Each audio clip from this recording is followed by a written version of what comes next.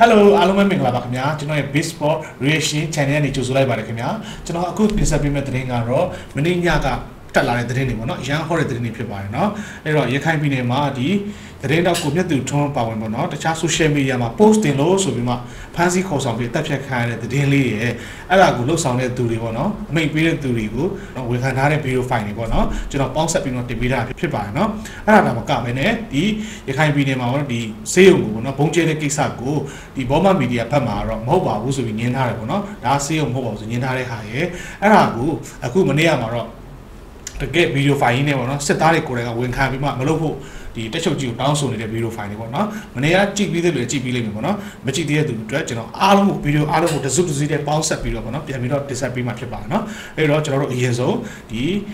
သတင်းသမားတွေကိုဘယ်လိုမျိုးတက်ခဲ့လဲဆိုတဲ့ဟာပေါ့နော်အဲ့ဒါကိုကျွန်တော်တိုင်မှာပြောထားတဲ့ဗီဒီယိုဖိုင်လေးကိုတိုင်မှာကြည့်လိုက်အောင်နော်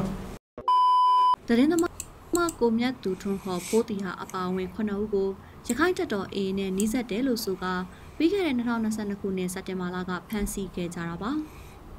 ရခိုင်ပြည်နယ်မြောက်ဦးမြို့အခြေဆိုင်ခမာယာ308တန်ရင်မှာဖမ်းဆီးထားပြီးပြီးခဲ့တဲ့ဇန်နဝါရီလကအချုပ်ခန်းထဲကနေခေါ်ထုတ်ကတပ်ဖြတ်ခဲ့တာလို့ဝန်ခံချက်မှာပါရှိပါတယ်။တပ်ဖြတ်ခံရသူသူတို့9ဦးရဲ့ရုပ်လောင်းတွေကိုတော့မြောက်ဦးမြို့ကဘုံခိုခြင်းတစ်ခုထဲမှာတွေ့ရှိခဲ့တာဖြစ်ပါတယ်။ Okay အဲ့တော့ဒီသတင်းတောက်မြတ်သူထိုးစာတူပေါ့နော်။ကျန်တဲ့လူတွေကကျွန်တော်သိသလောက်ဆိုရင်ပြောထားတဲ့ဟာဆိုရင်သူကသတင်းတောက်တွေမဟုတ်ဘူးနော်။တချို့တွေဆိုရင် social media မှာ post post လေးပဲတင်တာပေါ့နော်။အဲ့ post တင်တဲ့အတွက်ဖန်ခံရပြီးအဲ့လိုတက်ခံရတာပေါ့နော်။အဲ့တော့တော်တော်ကြီးကိုမိုက်ရိုင်းတယ်လို့ပြောမှာပေါ့နော် post တင်တာနဲ့ဒီလောက်လူအသက်ကိုအဲ့လိုတက်ဖို့လိုလာပေါ့နော်ဒီကျွန်တော်ရဲ့ video တစ်ခုသွားကြည့်လိုက်အောင်နော်ဒါကတော့ဒီဒီအဖွဲ့တွေကိုတက်တဲ့အဖွဲ့တက်တဲ့လူတွေပေါ့နော်ဒါကတော့ဆွမ်းနာလူတွေကိုတက်တဲ့ ခေါင်းဆောင်တွေပေါ့နော်အမိတ်ပေးတဲ့လူဖြစ်ပါတယ်နော်လှုပ်ဆောင်တဲ့သူတွေအမိတ်ပေးတဲ့လူတွေပေါ့နော်အဲ့ဒီတပ်ဖြတ်မှုကိုဘိုးမူးတိမ့်ထိုက်ဆိုကဓာတ်ရိုက်အမိန်ပေးခဲ့တာဖြစ်ပြီးပါဝင်ခဲ့ကြတဲ့ဗိုလ်ကြီးအာကာမြင့်နဲ့ဒုတိယရဲမှူးကြီးခင်မောင်စိုးကိုရခိုင်တပ်တော် AA ကဖမ်းဆီးရမိခဲ့ပြီးတဲ့နောက်အခုလိုမျိုးဖြောင့်ချက်ပြီးဝန်ခံခဲ့ကြတာပါအဲ့ဒီအရသာပြည်သူခဏဦးကိုတတ်ဖို့ဓာတ်ရိုက်အမိန်ပေးခဲ့သူဘုံမူးတိမ့်ထိုက်ဆိုဆိုသူကတော့ဘာကြောင့်တက်လိုက်တယ်ဆိုတဲ့အကြောင်းပြချက်ကိုထုတ်ဖော်ပြောဆိုခဲ့ခြင်းမရှိပါဘူး ကဲဒါကတော့ဘိုးကြီးဘုံမူးတိမ့်ထိုက်ဆိုပေါ့နော်သူကအမိန်ပေးတယ်ဒီနေ့ကတက်တယ်ပေါ့နော်ဟုတ်ပြီဒီနေ့ကဝန်ခံထားတဲ့အာဝန်ခံထားတဲ့ဗီဒီယိုဖိုင်လေးကျွန်တော်တစ်ချက်လောက်သွားကြည့်လိုက်အောင်နော်ဒါကမိန်ပေးတယ်လို့ပေါ့နော်ပြန်နှံဝင်မှာကြီး၄ခုနှစ်လေးတဲ့ပုံမှုသိမ့်တိုက်ဆိုပြီးပြီးတော့ခမာ390ချင်းမှာဌာနချုပ်တပ်ခွဲမှုတာဝန်ထမ်းဆောင်ပါတယ်ကျွန်တော်လူမျိုးဘာသာအနေနဲ့ဗမာဗုဒ္ဓဖြစ်ပြီးတော့နေရလိစာဖြစ်ပါတယ်။ညာဦးခရိုင်ရဲစခန်းတိုက်ပွဲဖြစ်ပွားတဲ့အတွက်ကျွန်တော်တို့ခမာ388တိုင်ရင်ကို ရောက်လာတဲ့အချိန်ဖူလာပြေပါဝင်ချုပ်သား9ဦးကကျွန်တော်တိုက်ခမာ398တိုင်ရင်ပုံခင်းမှာထိန်းသိမ်းထားရှိခဲ့ပါတယ်။2024ခုနှစ်တလပိုင်း23ရက်နေ့မှာကျွန်တော်တို့ခမာ300ကွန်ဆက်ကွန်မှာကျွန်တော်စေကူတောမှုခံယူတဲ့အချိန်ဒူကြကြတန်းအောင်တဲ့အဖွဲ့အားကျွန်တော်တိုင်းရေးဘူကြီးထံအာဂါမြင့်ထံသို့တည်င်းပို့၍အချုပ်သား9ဦးအားရှင်းလင်းရန်ညွှန်ကြားချက်ပေးလိုက်ပါတယ်။နောက်ဒီနေ့မနေ့တွင်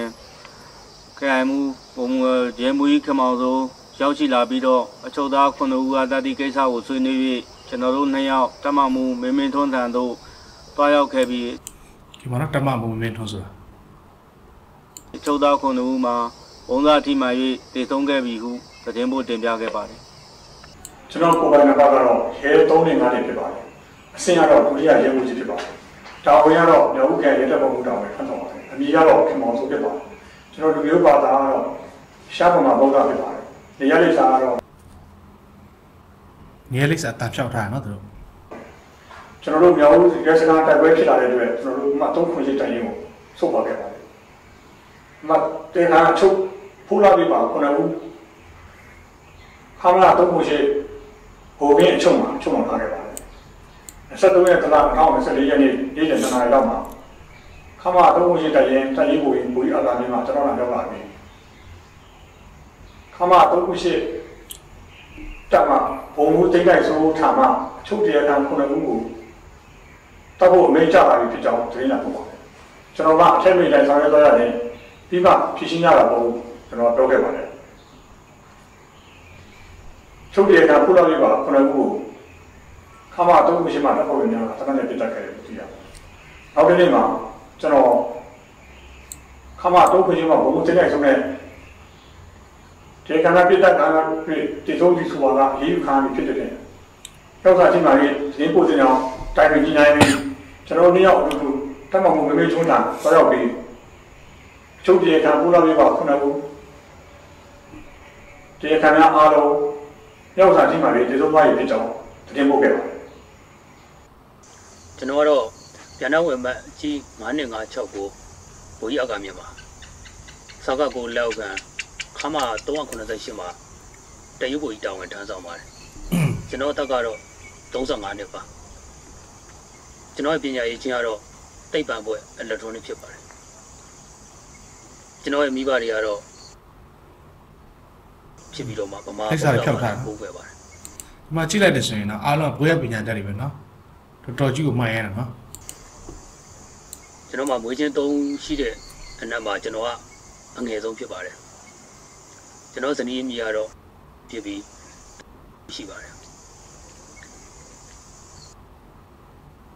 မနေထိုင်ပါတယ်ကျွန်တော်ရဲ့တက်ဝင်ရဆိုရတော့26ရက်တလ2006ခုနှစ်ဖြစ်ပြီးတော့စစ်မှုတန်းသက်16နှစ်ပြည့်ပြီဖြစ်ပါတယ်อืมစစ်တပ်ကတူဘူလောင်းပတ်စဉ်51ကတင်နန်းဆင်းပါတယ်အခုပြည်စင်နဲ့ပတ်သက်ပြီးတော့မှ 2024ခုနှစ်ဇန်နဝါရီလမှာ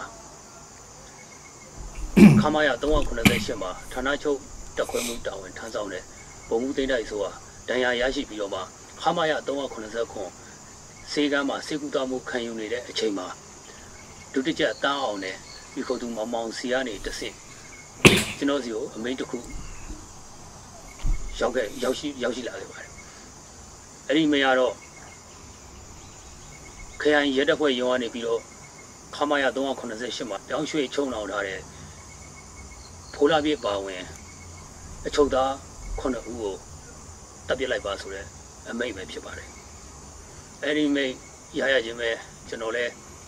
ခမာရ388မှာရှိနေတဲ့ခံရဲမှုကြီးခမောင်စိုးတန်ဆက်လက်တင်ပြခဲ့ပါတယ်။ခံရဲမှုကြီးကတော့ဆောင်ရွက်လိုက်ပါပြီးမှကြည့်ရှင်းပါမယ်ဆိုတဲ့အဖြေရတာနဲ့ ကျွန်တော်လည်းအဲ့ဒါဆိုရင်တော့ခံရမှုကြီးပဲတမမှုစီကိုဆက်လက်တင်ဖို့တင်ပြလိုက်ပါဆိုပြီးတော့အချုပ်ခန်းတော့ဒုတိယတန်းအောင်ပေးလိုက်ပါတယ်။ပြီးတော့ねဒုတိယတန်းအောင်ဘယ်နေရာမှာဆောင်ရွက်မလဲမေးတဲ့အချိန်မှာတော့ဒုတိယတန်းအောင်က ဈေးကန်းအုံအောက်မှာမိသားစုတွေတူထားတဲ့ဘုံခိုခြင်းတွေရှိတယ်အဲ့ဒီနေရာမှာပဲဆောင်ရွက်လိုက်မယ်ဆိုပြီးတော့အကြံပြုလို့ကျွန်တော်လည်းအဲ့ဒီနေရာမှာပဲဆောင်ရွက်ဖို့ခွင့်ပြုလိုက်ပါတယ် ဆောင်ရွက်ဆိုတာဒီတတ်ဖို့ပြောတာเนาะ ပြီးတော့ねတနက်နဲ့ပဲဆောင်ရွက်ဖို့နဲ့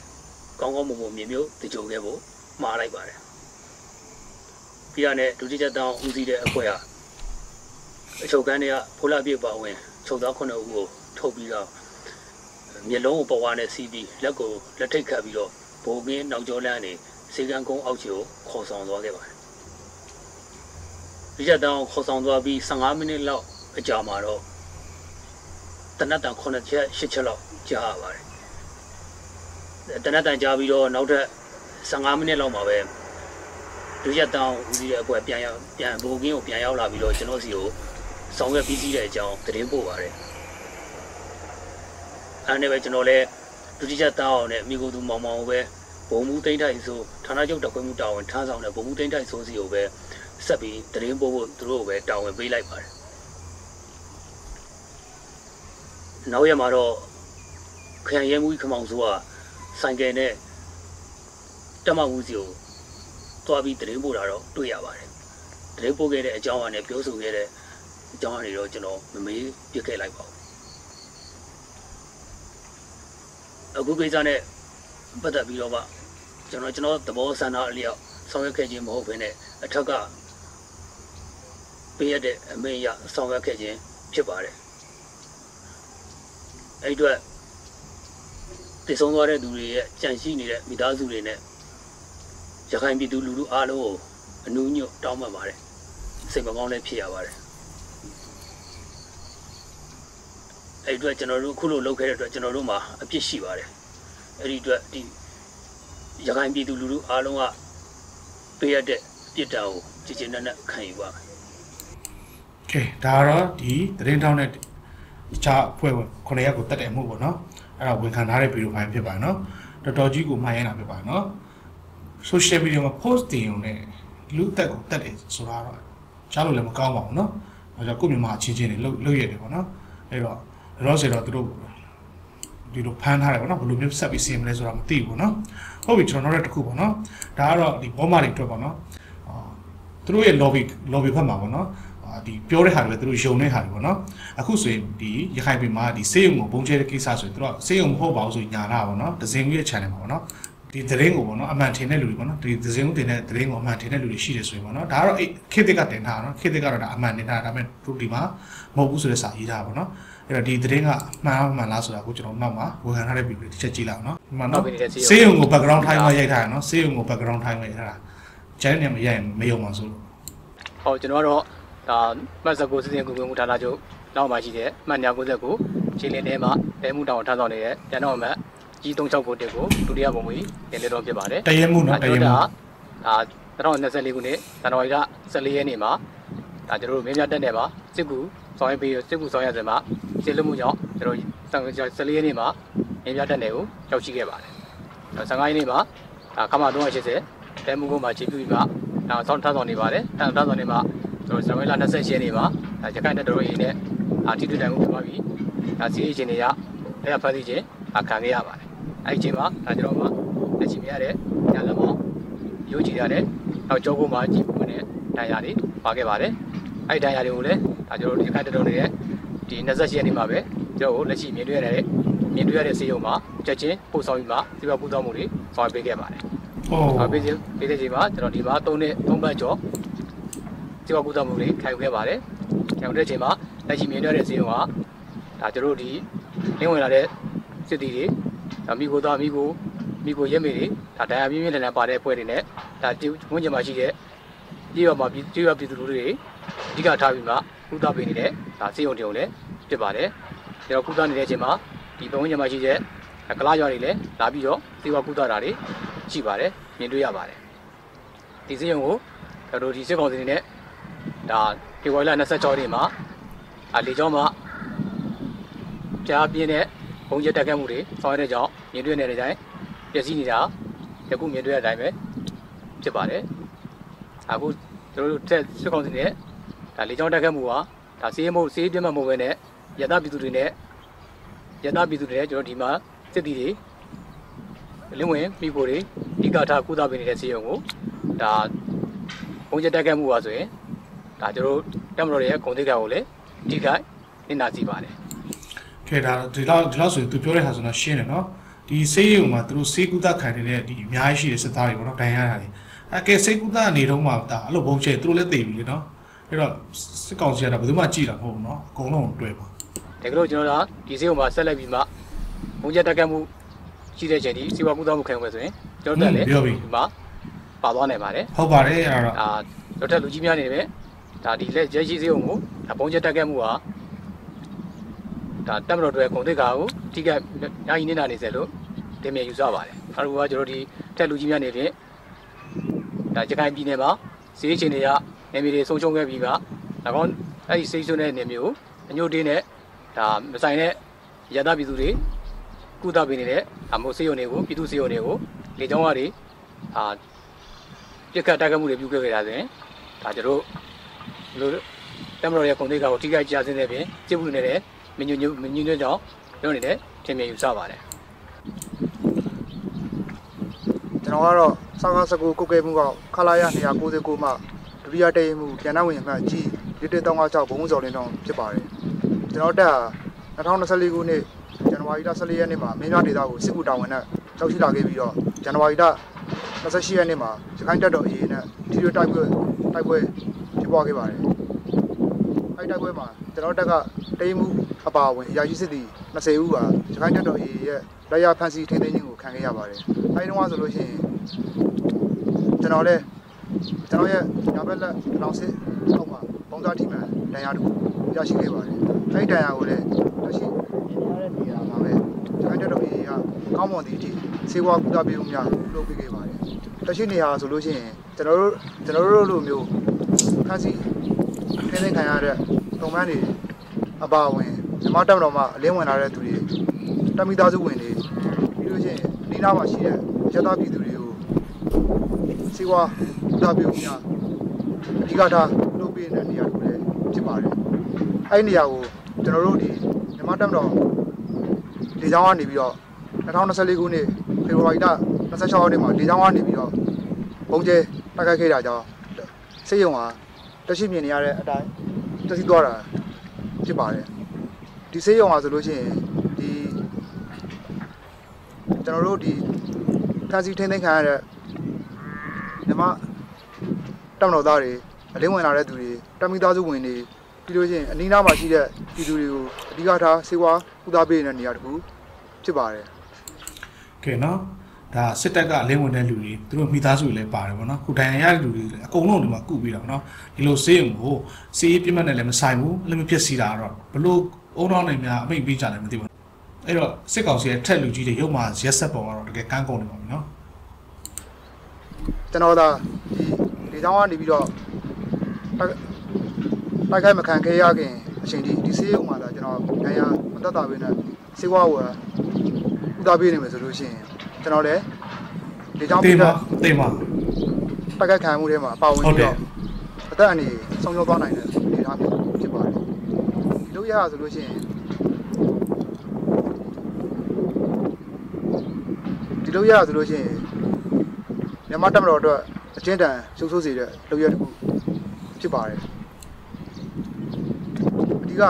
မြန်မာတပ်မတော်မှာရှိတဲ့တာဝန်ရှိတဲ့သူတွေကိုပြောလို့ကတော့ဒီဒီ စကားတော့အဆုံးနဲ့မရောက်နိုင်ဘူးနော်အာဗီဒီယိုဖိုင်လေးကဒီလောက်ပါပဲနော်အဲ့တော့သူတို့ရက်စက်ရုံမှမှုတဲ့မှာအေးရနော်ဘူးပေါ်သူလို့ပေါ်လိုက်ပေါ့နော်အားလုံးပေါ်လာပြီထပ်ပြီးတော့လည်းလာအောင်မယ်လို့ယုံကြည်တယ်မနေ့ကလည်းဒီလေပြစ်ကြတဲ့ကိစ္စနဲ့ပတ်သက်ပြီးဒီလေမှုကိုဖမ်းမိနိုင်ပြီဆိုရင်တော့နောက်ထပ်သတင်းတွေထပ်ပြီးတော့ကြားအောင်ပါပေါ့နော်ဘယ်လိုတွေလာအောင်မလဲပေါ့နော်โอเคဒါကတော့ဒီလူတက်မှုတွေကိုဝန်ခံထားတဲ့ဒီမြန်မာတက်မတော်တိုင်ရင်က ပုံမှုတွေပဲဖြစ်ပါတော့တိုင်ရင်မှုတွေဖြစ်ပါတယ်နော်တကယ်ယာလူကြီးကြီးတွေဖြစ်တယ်အဲ့တော့စကားစားရဲ့ရုပ်မှမှုတွေကိုအေးရတော့ကိုကတော့နော်အကုန်လုံးပေါ်ချလိုက်ပါတော့ထပ်ပြီးတော့လည်းလာအောင်မယ်လို့ ယုံကြည်တယ်ပေါ့နော်ခုအေးရဆိုရင်ဒီသူရခိုင်ပြည်နယ်မှာလည်းမြို့တော်တော်များများကိုပြန်ပြီးတိမ့်ပိုက်ရရှိနေတယ်ပေါ့နော်အောင်မြင်မှုတွေအများကြီးရရှိနေတယ်ထပ်ပြီးတော့လည်းဘယ်လိုသတင်းကြားအောင်လဲဆိုတော့ကိုကျွန်တော်တို့ channel တွေသတင်းတွေကိုအများနဲ့စောင့်ကြည့်ဖို့ဒီကနေတိုက်တွန်းရင်းနဲ့ဗီဒီယိုလေးကဒီလောက်ပါပဲเนาะကျွန်တော်တို့နောက်ဗီဒီယိုကြမှာပြန်တွေ့ရအောင်เนาะ